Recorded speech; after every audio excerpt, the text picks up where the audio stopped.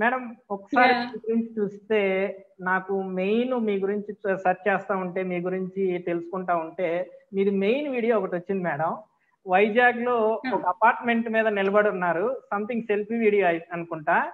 ఒక మీ డేరింగ్తో ఇలా ఫోన్ ఇలా పట్టుకొని ఇలా చూడండి బ్యాక్ సైడ్ ఇంతమంది తిరుగుతున్నారు. మీరు ఎందుకు లోకల్ బాడీ ఎలక్షన్స్ పెట్టట్లేదని ఆ వీడియోలో మీ డేరింగ్ నాకు బాగా నచ్చింది మేడం. ఏంటి మేడం అసలు? దాని గురించి మాట్లాడడానికి మెయిన్ రీజన్ ఏంటి?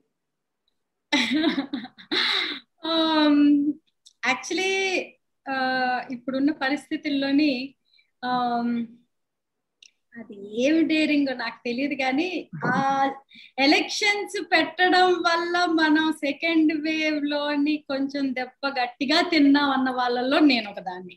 సో మేము పార్టీ నుంచి ఎలక్షన్స్ పెడదామన్న ఒక స్టాండ్ తీసుకున్నా కూడా పర్సనల్గా నాకు జనాలు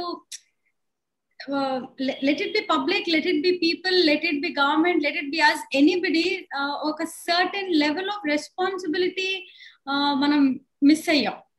అది కొంచెం అది అది బీచ్ దగ్గరకు వచ్చేటప్పటికి నాకు నేను ఇంట్లో నుంచి గదిలోంచి బయటికి రాకుండా మేము బిక్కు బిక్కు ఉంటున్న వాళ్ళం. వెన్ సడన్లీ ఇంత మంది చూసి ఏమైనా అంటే అంటే వైఎస్ వైఎస్ఆర్ సిపి వాళ్ళంతా మేము ఎలక్షన్స్ ఎందుకు పెట్టడం లేదు అని అంటే కరోనా ఉంది అని అంటున్నారు. ఇంత జరుగుతా ఉంది. And and Vizag beach every day ఒక తంత అయితే సండే అయితే oh my god I can't మీకు నేను చెప్పాల్సిన అవసరం కూడా లేదు. You are very aware of it. It looks it looks very అసలు మనం పాండమిక్లో ఉండనట్టు ఉంటాం. అసలు కరోనా అనేది లేనట్టు ఉంటాం.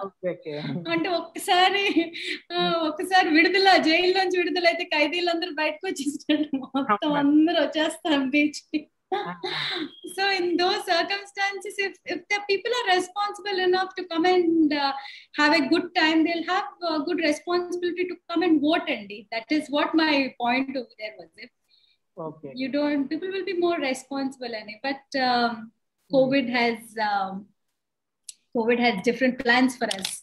Okay okay madam